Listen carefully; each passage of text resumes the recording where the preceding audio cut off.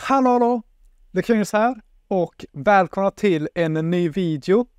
Och idag så tänkte jag på förfrågan eh, berätta hur jag designade de här eh, skruvande väggarna på Karlatornet. För det är ju lite så här udda geometri i Minecraft och eh, i och med att jag la ut timelapsen när jag bygger Karlatornet på TikTok nyligen så fick jag ett par frågor som var liksom, hur fan bygger man sådär liksom? Så, så jag tänkte att vi kunde gå igenom det idag, för det, det här är inte bara liksom gissat, utan det finns en struktur till det liksom. Och det är ganska lätt faktiskt när man väl har den strukturen.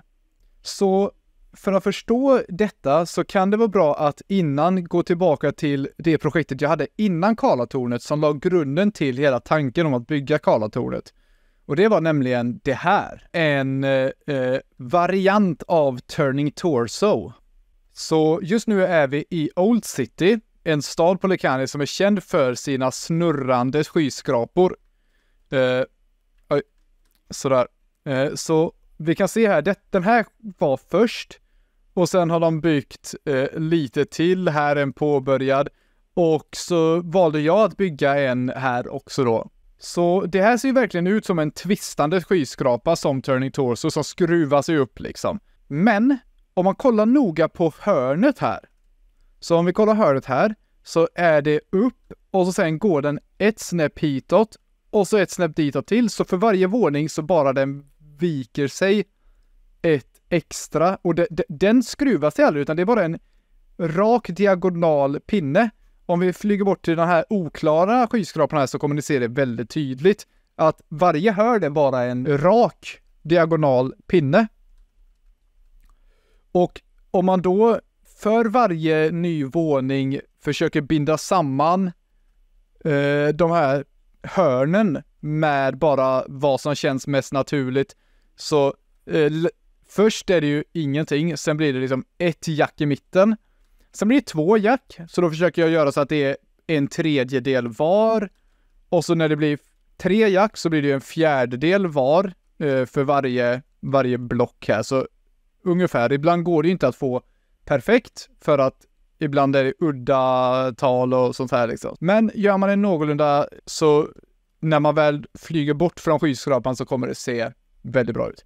Men här var ett misstag jag gjorde med det här och som, eh, som alla de här skyskraporna eh, missat lite på. Ser ni att den är smalare i mitten? Den är bred här uppe, den är bred här nere, men i mitten är den smal. Om man bara gör de här diagonala eh, raka strecken så blir det geometrin så att eh, så blir geometrin så att eh, den blir smalare i mitten och då kom jag på ett sätt att lösa detta på. Så, det som vi har just nu är en perfekt kvadrat. Sen har vi en kvadrat inuti den här kvadraten.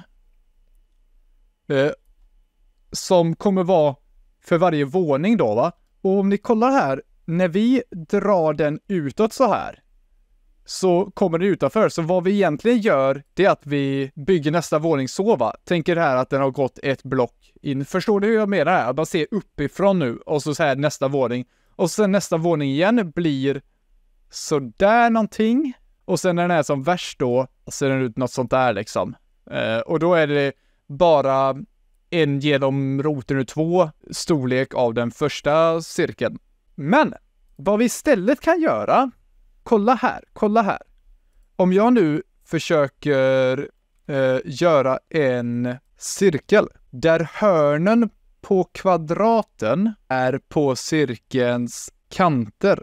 Och så sen så gör vi en till sån här eh, markeringskvadrat. Om jag nu försöker röra den här kvadraten så ser ni att den följer cirkeln helt och hållet. Så om vi vill få en snurrande skyskrapa som, eh, som behåller sin bredd så ska vi inte följa ett rakt streck utan vi ska följa en cirkel. Så, låt oss gå in i creative och göra just detta. Okej, okay, så att göra en cirkel är ju alltid bökigt i Minecraft. För Karlatornet var det ganska lätt för att de var så små. Men om man inte vill eh, bygga en egen cirkel på något sånt här sätt Eh, så finns ju massa verktyg för att göra det. Och vad jag kommer göra just nu är bara en håsyl med World Edit. Så det är någonting. Eh, och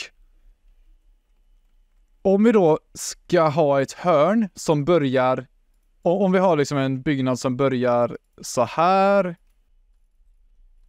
så ska vi då inför nästa våning, istället för att gå dit och fortsätta, så bara vi ser vart är nästa sån grej. Och så bygger vi upp den så. Och så sen går vi då dit. Och så bygger upp den. Men nu ska vi till samma ställe här igen. En, två, tre. Och så nu ska vi ut dit. En, två, tre. Är ni med? Så nu har jag gjort ett eh, halvt eh, fjärdedels varv om man säger så, en åttondels varv.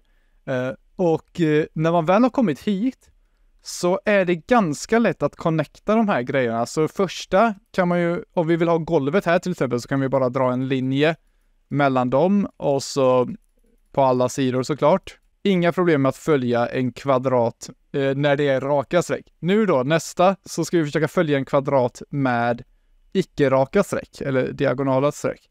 Så den här är tre steg bort från den här. Liksom, vi kommer behöva göra två flytt här. Så första biten kanske så, en, två, tre, fyra, fem. Sen gör vi nästa, en, två, tre, fyra, fem. Och så nästa, en, två, tre, fyra. Så det ser att då missade vi lite där för att man kan inte göra perfekta. Man skulle kanske vilja ha fyran i mitten. Det kan man ju känna på lite som man vill. Och så bara vi kör de här raderna då. En, två, tre, fyra. En, två, tre, fyra, fem. En, två, tre, fyra. Och eh, ja, så fortsätter man hela vägen upp. Så nu kommer det vara eh, ganska många streck här. Eh, så kanske en, två, tre, en, två, tre, en, två, tre, en, två, tre, en, två. Ja, ungefär. Och gör man detta hela vägen så får man ju då ett skruvande hus som har samma längd på alla. Och man fortsätter med det här mönstret hela vägen upp och så kan man ju fortsätta med de här runt så länge man följer cirkeln. Så kan man få ett hus som skruvar sig och håller samma eh, längd på alla, alla våningars sidor Eh, hela alltså så här, man kan ju göra flera varv om man vill det, om man vill ha en jätteskyskrapa. Man skulle också kunna gå flera steg per våning om, om man vill ha en som skruvas mycket. Så istället för att köra nästa våning här, så skulle vi kunna kört nästa våning där, right? Uh, och efter det så blir det att vi liksom skippar en och så går direkt dit. Och så skippar en och går direkt dit. Är ni med på hur jag menar? För då får man en, en skyskrapa som skruvar sig eh, dubbelt så fort helt enkelt. Med detta i åtanke så går vi tillbaka till eh, eh Lekani och kollar hur Karlatornet är byggt. Så, om vi kollar här, Karlatornet skruvar sig inte på samma sätt som Turning Torso gör, utan den, den skruvar sig på ett ganska unikt sätt och jag, jag gjorde helt enkelt så att jag åkte till Karlatornet och fotade för att, eh, för att kunna ha några referensbilder när jag byggde. Och vad jag noterade var att de här, liksom, man skulle kunna dela upp Karlatornet i fyra stycken klossar som är eh, liksom från det här hörnet bort till det här och bort till det här och så in i ett eh, hittepåhörn här inne någonstans, right? Och varje sån eh, fjärdedel skruvar just den yttre väggen ett halvt eller en fjärdedels varv så att eh, i toppen så är de vita väggarna åt det hållet som de svarta väggarna inte är. Medan de alltså svarta väggarna bara försvinner bort, eller så att säga, här försvinner de bort in i det här hörnet som eh, ni ser att liksom det här hörnet skruvas ingenting utan den bara fortsätter hela vägen ner. Och på den här sidan istället så växer de svarta väggarna fram ur det hörnet. Man kan faktiskt till och med se på timelapsen att jag bygger ut cirklar som matchar de här hörnen, eller som så här, korsar de här hörnen med dirt. Och de använde jag då som referens när jag gick upp här, precis som vi just gjorde i Creative. Och det sista som är värt att tänka på här, som jag noterade på bilderna, är att Karlatornet har en ganska mjuk start på sin svängning och den, den skruvar sig liksom inte lika mycket hela vägen. Så den saktar in och kan man säga så, saktar in sin skruvning. Det är lite konstigt, för det har inte med tid att göra. Men hur som helst, eh, så jag löste det i Minecraft var att jag för de två första liksom förändringarna av vart detta blocket ska vara, så gjorde jag dubbla våningar. Vilket gör att det ser ut som att den får en ganska mjuk start och sen börjar skruva sig mer och så en ganska mjuk avslutning. Så ja, det var väl egentligen allt om detta. Eh, hoppas att den här videon hjälpt folk. Det är alltid så här spännande och knepigt att bygga inte fyrkanter i Minecraft, oavsett om det är cirklar eller skruvar, eller ja, den här på sätt och vis också, även om den är betydligt simplare. Men, eh, ja, så med det antar jag att jag säger prenumerera för mera, så ses vi nästa avsnitt. Har du inte att göra. Hej då!